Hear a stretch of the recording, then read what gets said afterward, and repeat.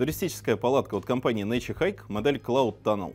Cloud Tunnel выпускается в двух исполнениях. Это версия из полиэстера. Ее масса составляет 2,9 кг, и это отличная палатка для летних сплавов, для тех, кто ищет просторную двушку-полубочку с большим тамбуром, и также для тех, кто ищет универсальную палатку для походов и кемпинга. В комплект Cloud Tunnel входит тканевый чехол, дуги в собственном чехле, футпринт, утяжка на липучке для упаковки палатки, 6 дополнительных оттяжек, 15 алюминиевых колышков, тент и тело палатки, скрепленные с завода. Установим Cloud Tunnel 2. Для этого сначала выбираем ровную площадку, стелим футпринт, поверх футпринта стелим тело основной палатки, широкая часть будет располагаться у входа в палатку. Подстегиваем пластиковые крючки к кольцам тела палатки, фиксируем заднюю часть с помощью колышков. Теперь можно собрать каркас. Каркас имеет цветовую маркировку при сборке каркаса важно следить, чтобы сегменты плотно входили друг в друга, так как это является основной причиной поломки каркаса.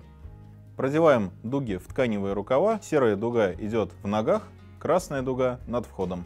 И фиксируем с помощью люверсов.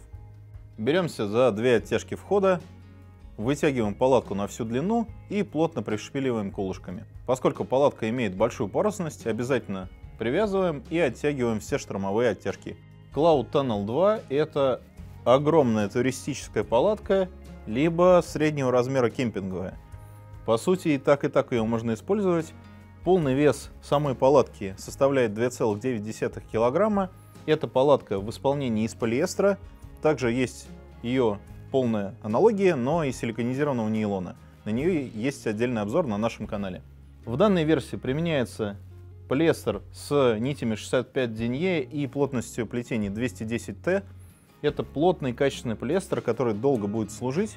Плюс он имеет рипстоп-обработку, которая препятствует расползанию ткани в случае ее надрыва. Здесь применяется полиуретановая пропитка с двух сторон.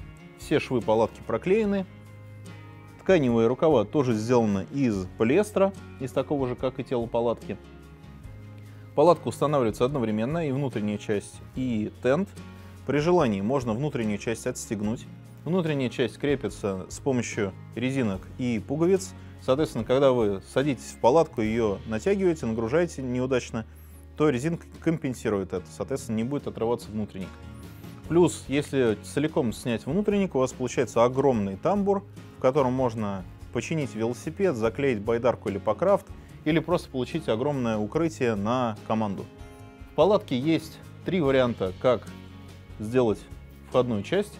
Можно открыть одно крыло боковое, можно одновременно открыть два крыла для проветривания и удобства загрузки вещей, а можно открыть две центральных молнии и подкатать центральную панель, у вас получится фронтальный вход. Также на нижних частях центральной панели есть кольца, которые позволяют установить крыло палатки на трекинговых палках, подручном материале или специальных стойках. Тамбур палатки позволяет с комфортом разместить здесь огромное количество снаряжения. Сюда легко лягут два 120-литровых рюкзака, обувь. Еще останется место для того, чтобы готовить. Размер внутренней палатки 135 на 210. Палатка чуть-чуть сужается к ногам. Соответственно, размер указан для узкой части. Здесь с комфортом разместится либо двойной кемпинговый ковер, если вы используете для кемпинга, либо два широких туристических надувных или самонадувающихся, и два взрослых человека здесь с большим комфортом расположатся со всем снаряжением. Такая палатка, например, будет идеальна для продолжительного сплава. Каркас палатки усилен. В отличие от большинства палаток Nature Hike здесь используются 9-миллиметровые дуги, которые имеют большую прочность, естественно, потому что палатка имеет большую парусность.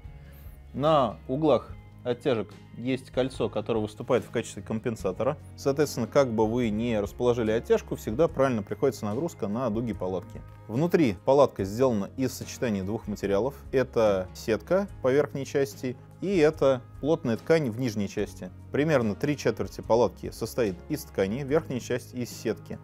Также дверь дублирована тканью, соответственно, вы можете в жаркую погоду ткань отстегнуть в верхней части и получить дополнительную вентиляцию.